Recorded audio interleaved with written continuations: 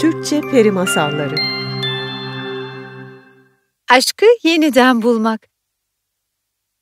Eskiden, çok eskiden, zamanın sesi içinde dünya daha çok gençken, Evelyn adında güzel bir prenses yaşarmış. Ve Evelyn, Bradley adında yakışıklı genç bir şövalyeye deliler gibi aşıkmış. Kral bu durumu öğrenince biraz şaşırmış ve mutlu olmuş. Çünkü Bradley'den hoşlanıyormuş. Tüm krallığa ilan edin. Şövalye Bradley ve Prenses Evelyn önümüzdeki dolunayda evlenecekler. Ve böylece Bradley ve Evelyn'in iki hafta sonra evlenecek olması bütün krallığı çok mutlu etmiş. Ve krallığın kanunu olarak gelin ve damadın evliliğin ilan edildiği günden evlenecekleri güne kadar birbirlerini görmemesi gerekiyormuş. Ama aşkları gibi birbirlerinden ayrı kalamamışlar.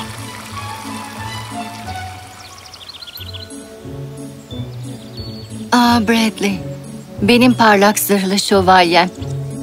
Elini tutmadan geçirdiğim her gün yüreğimi zayıflatıyor. Bu 14 gün sonsuzluk gibi. Hey Evelyn. Ah, Bradley! İki aşık birbirlerine sarılmışlar. Bradley, bunun kanuna aykırı olduğunu... Biliyorum aşkım. Ama yüzünü görmeden yaşayamam. Seni gören oldu mu? Hayır. İki aşık birlikte biraz zaman geçirmiş ve ardından Bradley'nin gitme zamanı gelmiş. Ama balkonda Bradley'nin görmediği ve elini yaraladığı bir kaktüs saksısı varmış. Ah, Elin kanıyor. elim iyi. Sen hiç endişelenme. Yarın yine gelirim. Ve ardından şövalye ayrılmış. Evelyn kaktüs saksısını diğerlerinin arkasına koymuş. 13 gün geçmiş ve aşıklar her gece gizlice buluşmuş. Aramızda sadece bir gün kaldı. Ve ardından ebediyen benim olacaksın. Ama kaderde başka bir şey yazılıymış. 14. gün krallıktaki her gelinin evleneceği akşam yaptığı gibi Evelyn kraliyet arabasına binip nehirde banyo yapmaya gitmiş. Ama yoldayken arabanın tekerleği dingerinden çıkmış. Ve araba aniden çökmüş. Hayır! Sevgili kızım. Prenses Evelyn ciddi şekilde yaralanmış. Festival hissi yok olurken tüm krallık sessizliğe bürünmüş.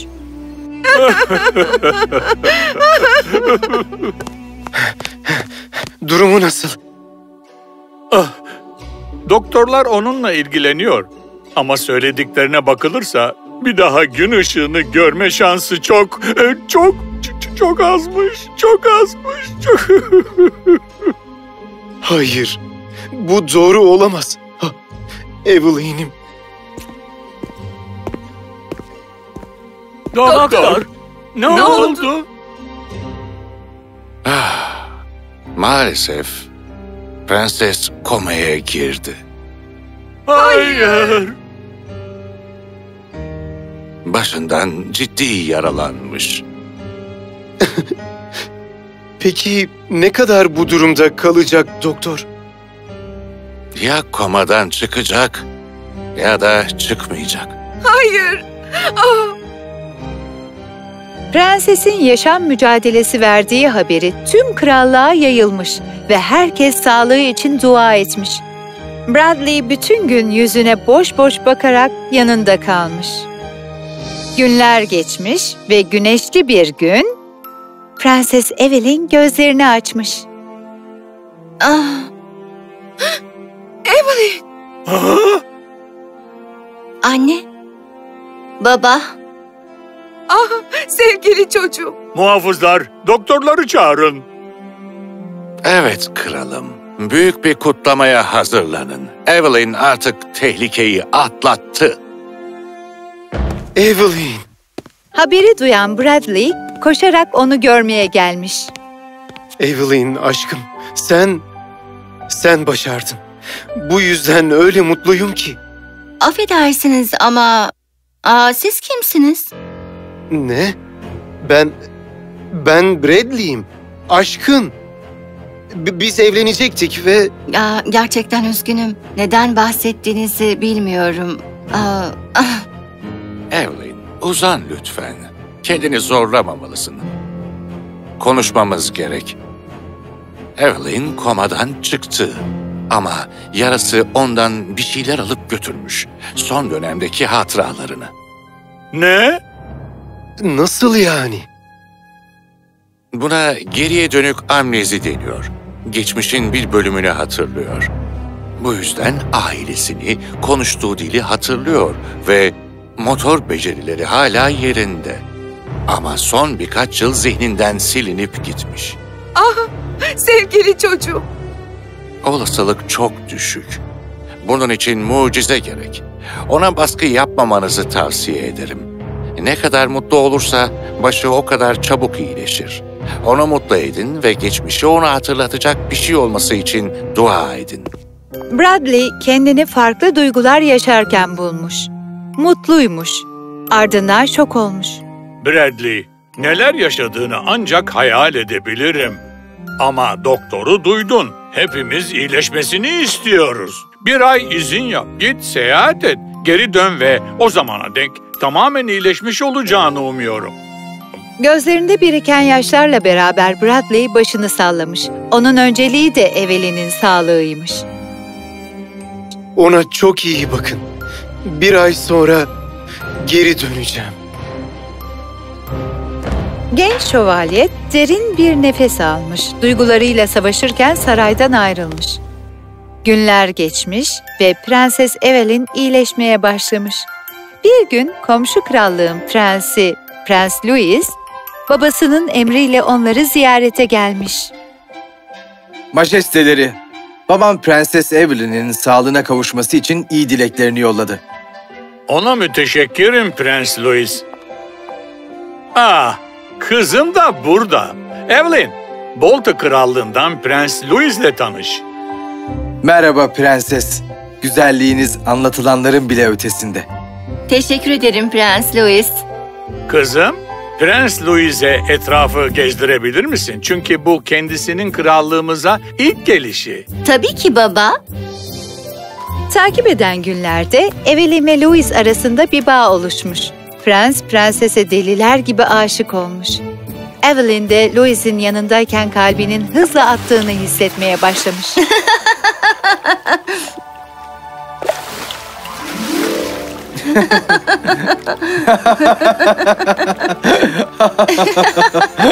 Oo, Yapma şunu. Talihsiz olaydan beri onu hiç bu kadar mutlu görmedim. Haklısın hayatım. Umalım da bu kez kader araya bir şey... Buna asla izin vermem. Louis'den kalışını uzatmasını istedim. O da kabul etti. Her geçen gün Evelyn ve Louis arasındaki sevgi bağları daha da güçlenirken Bradley saraydaki gelişmelerden habersiz krallığa dönmek için hazırlanıyormuş. Sensiz geçen bir ay. Koca bir ay. Ve birbirimizi görmeden bir gün bile geçiremiyorduk. Hayat ne kadar acımasız. Kendi bildiği önünde bize diz çöktürüyor. Ama artık geliyorum aşkım. Bradley krallığa girmiş ve doğruca saraya gitmiş. Ama onu orada hiç hazırlıklı olmadığı bir şey bekliyormuş.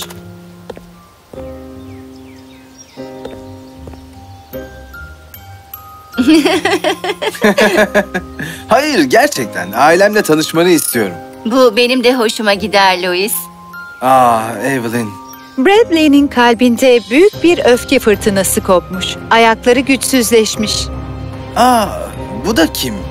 Merhaba. Evelyn Bradley'e bakmış ve o anda komadan uyanırken gördüğü adam olduğunu hatırlamış. Yüreğinin içinde bir şey kıpırdamış. Merhaba bayım. Sizinle konuşuyorum şu an. Ben... Ben... Oo, o iş yaptırmak için çağırdığım biri. Galiba yolunu kaybetmiş. Gel genç adam seninle işi konuşalım. Ben... Ben... Gel. Evelyn, Bradley'nin babasıyla gidişini izlemiş ve aniden bedenini tuhaf bir üzüntü hissi sarmış. Hey, sen iyi misin? Aa, evet ben iyiyim. Çok üzgünüm Bradley. Hafızası geri gelmeyecek. Ama Prens Louis'le çok mutlu ve tekrar mutlu olmasının önüne geçemem. Peki ben ne yapacağım? Krallığı terk et.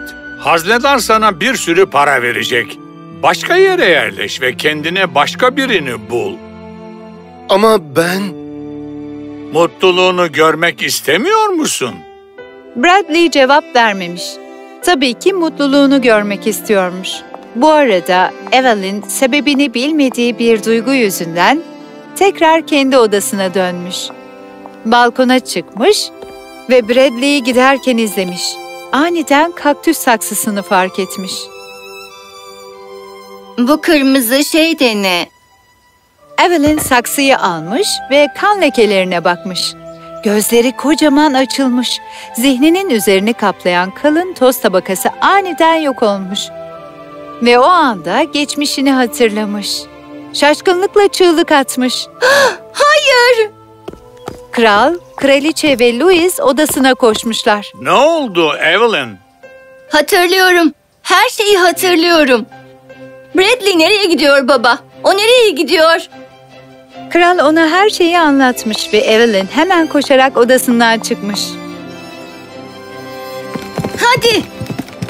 Bradley! Ha? Evelyn! Bradley! Evelyn! Bradley, artık her şeyi hatırlıyorum aşkım. Ne? Lütfen gitme. Ben sensiz yaşayamam. Asla. Ve böylece Bradley ve Evelyn nihayet bir araya gelmişler. Kral özür dilemek için Louis'e gitmiş.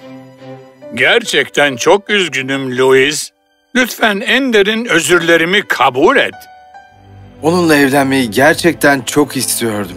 Onunla evlenmek için izninizi istemeye gelecektim. Biliyorum ama o seni sevmiyor.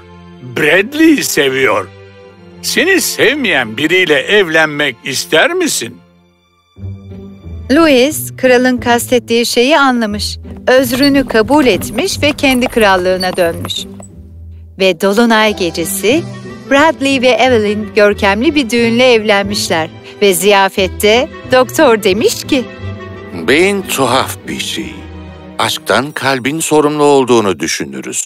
Ama hayır, hepsi beynin eyleminden ibaret.